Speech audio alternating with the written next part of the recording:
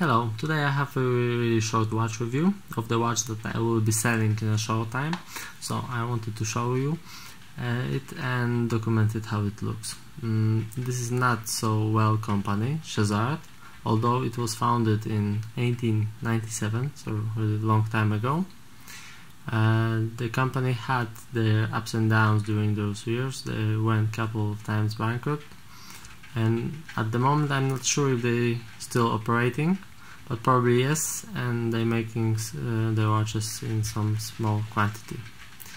Uh, as you can see this is a pilot style watch uh, so it's quite big 47 millimeters uh, wide as pilot watch should be because uh, um, the feature of easy to read uh, of this kind of watch is probably the most important thing about pilot watch. Um, what else? Uh, this watch is powered by Unitas. Uh, 6497 or 98 you can even see description.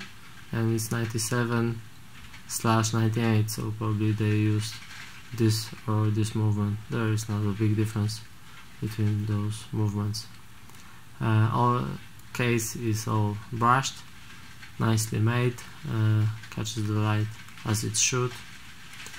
Uh, overall, very simple design, but the pilot watch should be simple, should be easy to read, and I think it's quite nice watch, especially good value for your money.